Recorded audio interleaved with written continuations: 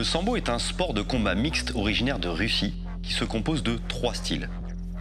Le sambo sportif qui est un mélange de judo et de lutte, le sambo combat qui est du sambo sportif avec un travail de frappe et de percussion, et enfin le sambo défense qui est un système de self-défense. Un combattant rouge, un combattant bleu s'affrontent sur une surface de 8 mètres pendant 5 minutes. Intéressons-nous de plus près au sambo sportif. Trois possibilités majeures sont à la disposition du combattant pour marquer des points et remporter son combat. Les projections, les immobilisations et les soumissions.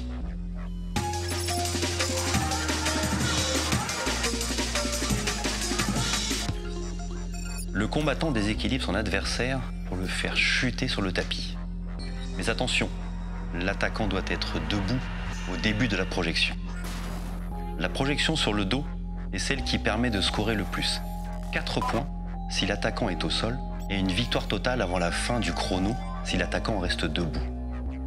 Les combattants se démènent donc pour ne pas tomber sur le dos. Toute la difficulté est de garder sa lucidité dans une situation désavantageuse. Une projection sur le côté rapporte 2 points si l'attaquant est au sol et 4 points s'il réussit à rester debout.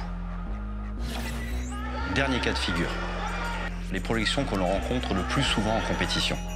Quand l'adversaire est projeté sur la poitrine, les fesses ou l'épaule, l'attaquant marque un point s'il est au sol et deux points s'il est encore debout. Le combat s'arrête dès qu'il y a 8 points de différence entre les deux combattants.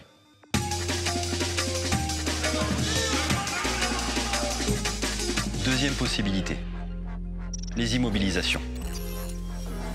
L'attaquant oblige son adversaire à s'allonger dos au tapis et se presse contre lui, torse contre torse. L'immobilisation doit au moins durer 10 secondes pour marquer des points.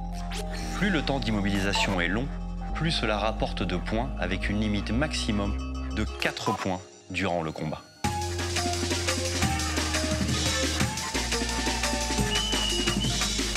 Technique ultime pour vaincre son adversaire est la soumission.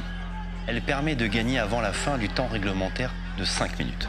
Les bras ou les jambes de l'adversaire sont bloqués, occasionnant ainsi soit une hyperextension articulaire, soit une compression musculaire.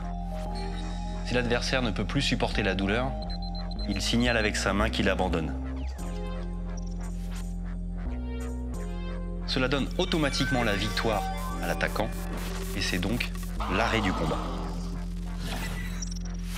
Le sambo est un sport complet et technique combinant force, agilité et endurance.